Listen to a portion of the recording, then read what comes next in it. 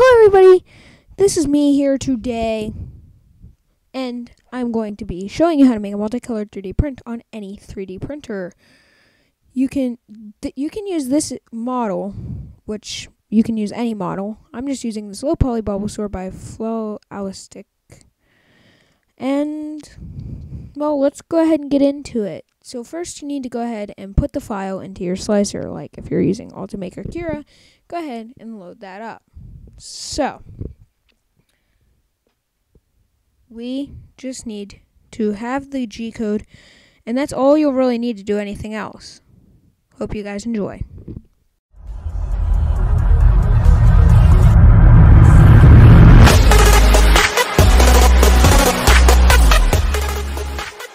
Once we have that going, uh, I'm not. I don't think I'm gonna time lapse in between because by the time I get that set up, then yeah.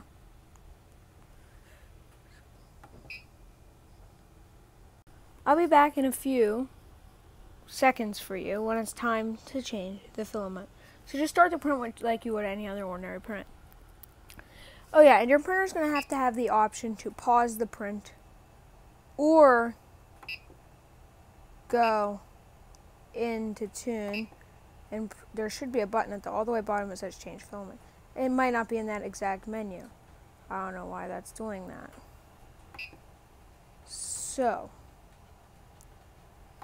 Let's just go ahead and wait for the print to start all that. Alright guys, so now we're going to go ahead and change the filament. So first step is to go over here to our menu. We're going to go to pause or er, tune, change filament, or you can pause the print and use my filament changing video to teach you how to change filament while it's paused. Change filament. It'll move around, then it'll do this. If you have the printer as me. And then it's going to start making very horrendous beeping noise in like three or four seconds. Yeah, you're going to hear that the whole time. So, if you own an Ender 3, you can just pull the rest of this filament out. It lets you do that on purpose. Then you round up all this extra filament. Sorry if that beeping is very annoying.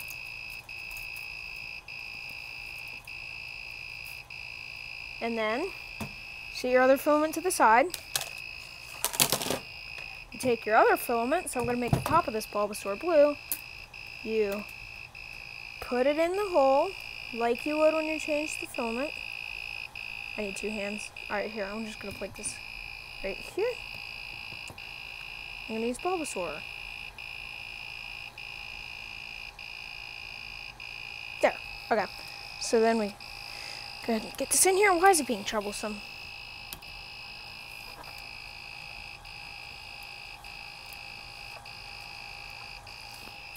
And then, it should, we need to make sure that only blue filaments, actually no, we only just need to make sure there's some in there. And then on my printer in particular, we just push the knob and it'll go right back to printing.